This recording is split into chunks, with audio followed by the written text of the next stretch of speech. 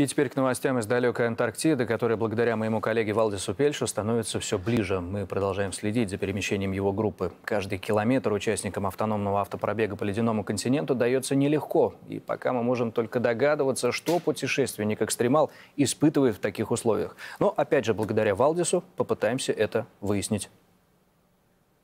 Равняйсь смирно! Товарищи телезрители, разрешите сделать предварительный доклад. Прошли 1200 километров, израсходовали тонну топлива. Съели из положенных по норме 77 килограмм продуктов только 42.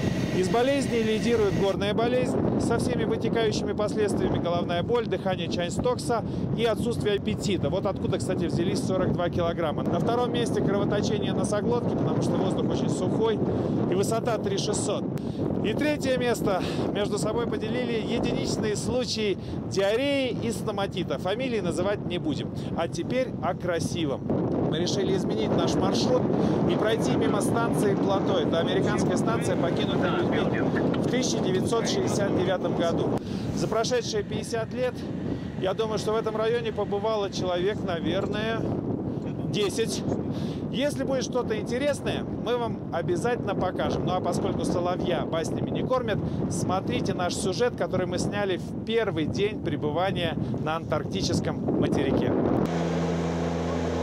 Сравнительно недалеко от станции Новолазаревская, ну, сравнительно по антарктическим меркам, в 150 километрах находится горный массив Вольтат. И два вертикальных пика Хультана и Ульвитана. Такое ощущение, что где-то здесь потерпел крушение огромнейший космический корабль, а это брызги от взрыва. Горы, которые окружают этот массив, абсолютно стандартны по своей форме. А вот таких больше в Антарктиде нигде нет.